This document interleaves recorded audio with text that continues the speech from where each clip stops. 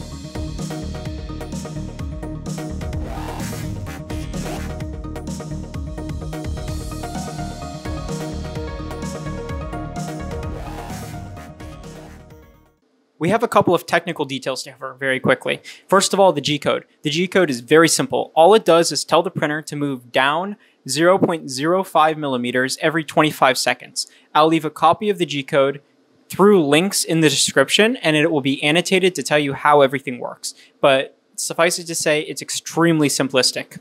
Second, the Luer lock to barb adapter. That is a little white piece that connects the needle to the tubing. That was purchased off Amazon. I'll leave links to that in the description as well. The needles themselves are just blunt tip Luer lock needles with a little bit of heat shrink tubing on the end to insulate the outside. I have lots of other videos on ECM if you want to know how to do engraving or milling. So that's another great starting place. Everything in this video you can purchase for $50 off Amazon and you'll be able to machine aluminum. This is a really interesting technique to use if you want to build something out of aluminum or you have a piece of metal that just needs a hole right through it. There is theoretically no limit to the depth you can cut.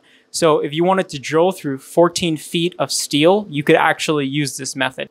The only drawback is it's sort of slow.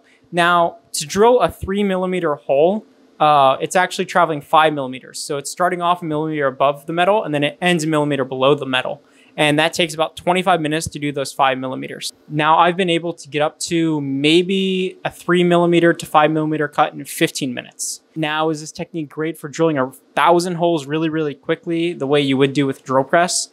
No.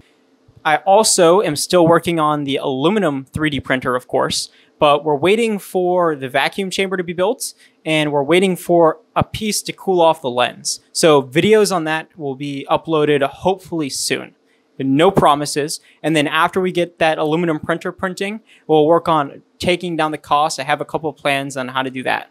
Maybe we'll be able to even use CO2. So stay tuned.